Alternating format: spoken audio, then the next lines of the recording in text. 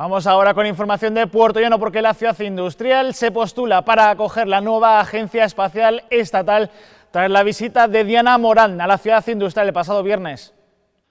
Puerto Llano se posiciona para acoger la nueva Agencia Espacial Española, como se constató durante la visita que la ministra de Ciencia e Innovación, Diana Morant, realizó a las instalaciones de Deimos en el polígono de la Nava el pasado viernes. La empresa líder en diseño y construcción de satélites expresó su interés a que Puerto Llano sea epicentro de esta agencia dentro del plan del Gobierno de España de descentralizar las instituciones del Estado.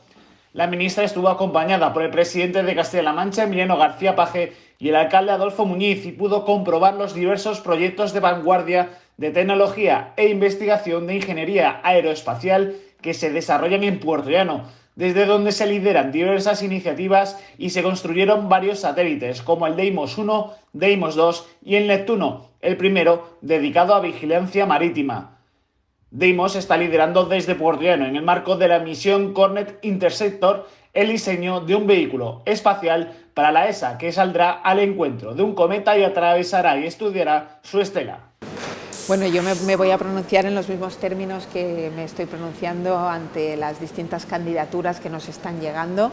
En realidad no hemos abierto todavía el proceso. Seguramente la Agencia Espacial Española será una de las primeras entidades del Gobierno de España, de la Administración General,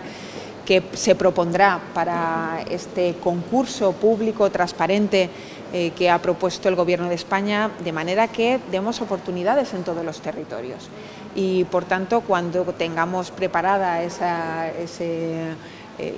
inicio para, para poder recoger candidaturas, pues recibiremos todas con mucho cariño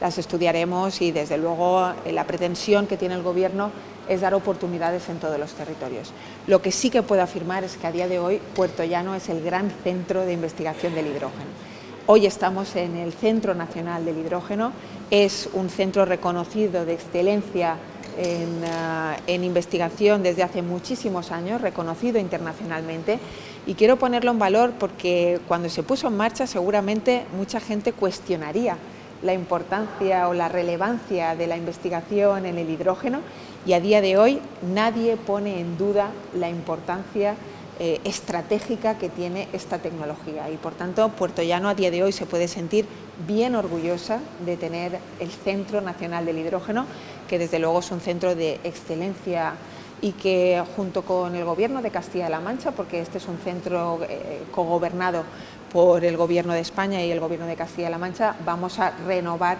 esa propuesta, esa voluntad de trabajar juntos hasta el año 2031 con una aportación por cada una de las administraciones de 14 millones de euros.